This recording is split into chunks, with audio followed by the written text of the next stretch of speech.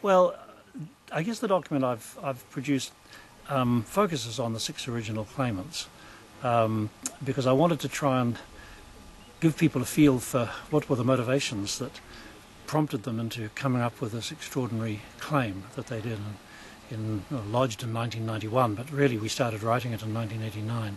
So uh, the the uh, little history that I've written talks about the um, individual claimants and uh, how they came together um, in the 60s and 70s. Each was uh, concerned with the affairs of their own iwi and issues that were that were worrying them.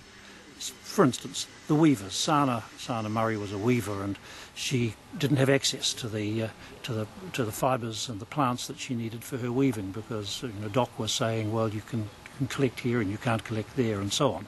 Um, other people like John Hippolite, one of my whanaunga from uh, from D'Urville Island, um, their concern down there was that the Crown had uh, taken the row over to themselves the right to manage tuatara. Uh, tuatara is a taonga species for, for Ngāti Koata, I mean, it is for all of us, but um, it isn't just for the Crown, and it wasn't just for the Crown to, uh, to alienate a whole island, Takapodu or Stephens Island, to, um, to uh, conserve that species without any uh, involvement of the uh, tangata whenua.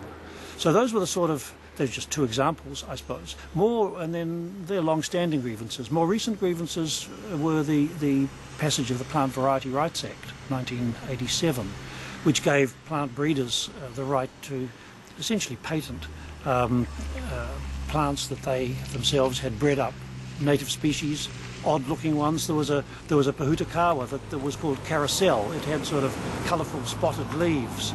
Um, well, plant variety rights were taken out on that, and the person who developed it sort of got the got, got a patent over it. Um, those sorts of things were concerning um, Ross, uh, Haana Murray, and, and, uh, and John Hippolite, Del Wihongi, Witi McMath, Tama Poata.